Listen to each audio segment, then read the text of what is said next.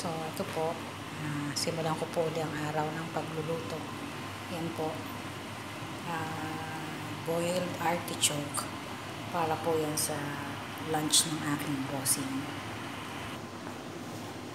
Ito naman po yung partner ng artichoke, sea bream. Yan po. Kasi po, diet siya. So, laging pong ganyan. May sukat po lahat yan. So, yung isda po, lagay ko lang sa ano, ah, lagyan ko ng hiniwa-hiwang lemon. Tapos, i-bake ko po mamaya sa oven. So, yung kasabay po ng artichoke na i-grill natin.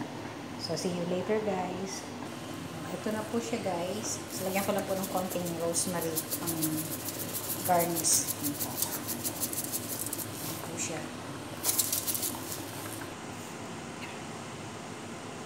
Ito na po ang one meal, one meal for today, ang lunch ng aking bossing. So, ilalagay ko na po siya sa oven. Yan po, i-oven po siya. So, antayin natin maluto. Yan na po siya. So, see you later guys.